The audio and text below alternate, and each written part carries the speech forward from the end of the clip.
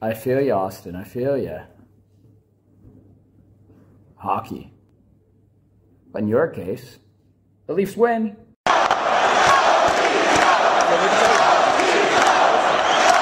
That's right. The Toronto Maple Leafs beat the Pittsburgh Penguins 4 to 1 at home, 50% capacity. It was great seeing people there. You could hear them. Yes, it was weird still seeing empty seats, but that's coming. March 1st, I believe. March 1st.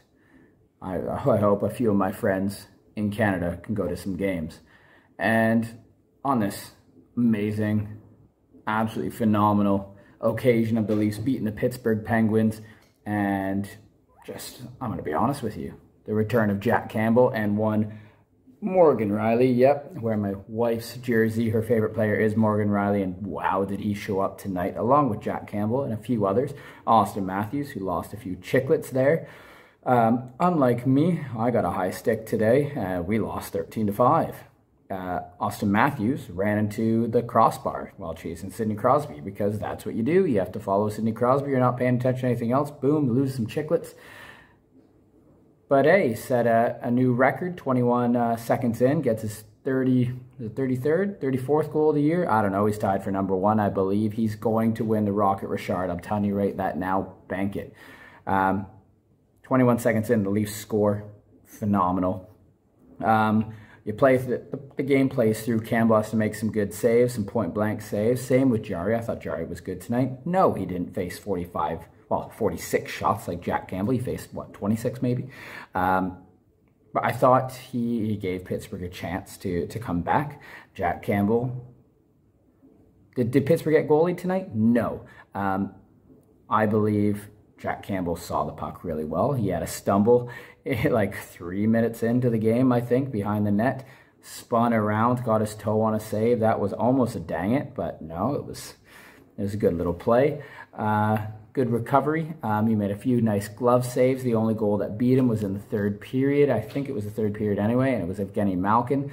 They had a few chances there. I think it was like two or three whacks at it before Malkin put it in the empty net. Leafs defenders, like my team earlier today, was just kind of standing there like, what do we do? Um, but to be honest with you, the rest of the game, uh, they cleared the net as well as they could, better than usual. Um, even though when you know there was traffic there, Jack Campbell was out on top of his crease. He was holding in the rebounds. He played really, really well. He made few nice saves, some key saves in this game.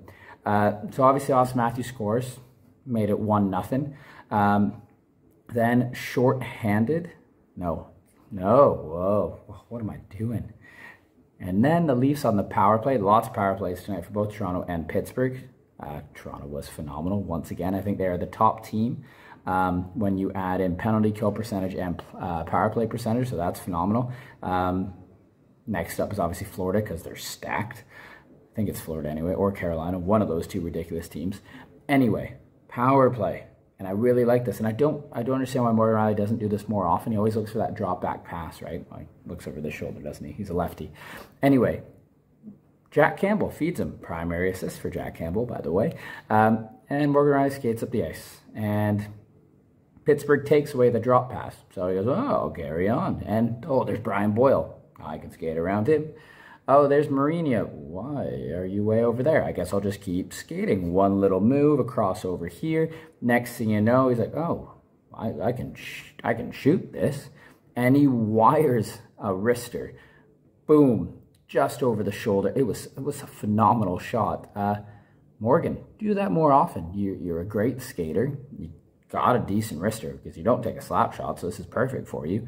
Um, and then it makes teams question what to do, and it opens up that drop pass again to Mitch, Auston, whoever you're going to drop to. What a goal. Needed 2 nothing. Then the other special teams, Leafs are on the penalty kill. And it's Morgan Rielly again uh, with, with David Kampf, and, or Camp, however you want to say it. Morgan uh, Camp blocks the shot or like pressures uh, Letang at the point. Letang gives it up. Uh, Morgan goes the other way. Letang dives out. He holds it and feeds it across. And just like me and my buddy Andrew uh, used to do in NHL, probably 12, 12, 13 maybe. We played uh, us too in, in NHL. Um, what we would do is one guy would go wide, you'd feed it down, and you would just receive the puck instead of taking the one timer, you just come back across the goalie and score. That's what Camp did here. Yes, Jarry knocked off the post, but it doesn't matter. I'm glad they changed that rule. Boom, three nothing. Um, like I said, yes, in the third period, Malkin does score to make it 3-1, but that's okay. Uh, Mitch Marner blocks a shot, and he was sore. He was sore. Leafs go the other way. It's him, Matthews, and Bunting. Uh, they get the puck back to Marner. He kind of whacks at it and then feeds it to Matthews. And the backhand sauce that Auston Matthews gave Bunting was phenomenal. Lands on his stick. Bunting, with a swoop, goes to his backhand. Literally the opposite of what David Camp did. Just the other side, I mean and boom, wide open net, and it's 4-1. Then after that, um, I think there might have been a post in there. William Nylander had a chance.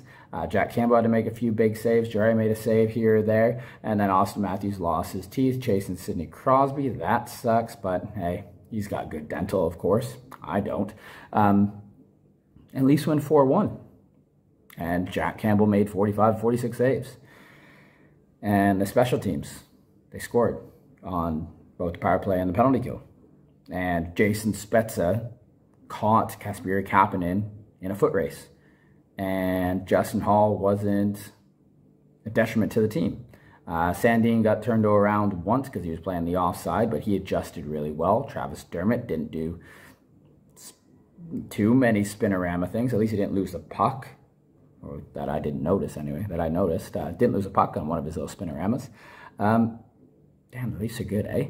Uh, they're so good. Adam Brooks was claimed off waivers and they put back on. Guaranteed. It's just to hopefully get him to the AHL. No one claims him, and then they could throw him on the taxi squad. Same with Ritchie. Now, speaking of Ritchie, where is he going to go? They got, they got to shore up that, what? I think if he gets traded, they shore up like, what, 900,000 maybe? I don't know. I have no idea. Um, that trade's got to come. It's got to come. Um, D were good. Liljegren's obviously in the AHL because he can be because of cap reasons. I think they had someone else. In my opinion, please not Ben Chiarot. Uh, that's a lot. That was kind of a lot of rambling there. Let me know what you thought of the game tonight. How did Toronto do? They beat the Pittsburgh freaking Penguins. Pittsburgh Penguins who are top team in the Metropolitan. 4-1. Even though they got outshot. It was like the other way around, except even though they got outshot, I thought the Leafs played a very, very solid game. I'm pretty sure they had more offensive time than Pittsburgh. I don't know. Comment down below and let me know. Anyway, what do you think of the game? What do you think of the Leafs beating the Pens, and where do you think they go from here? Let me know down below. See you later. See you next time. Go Leafs. Go.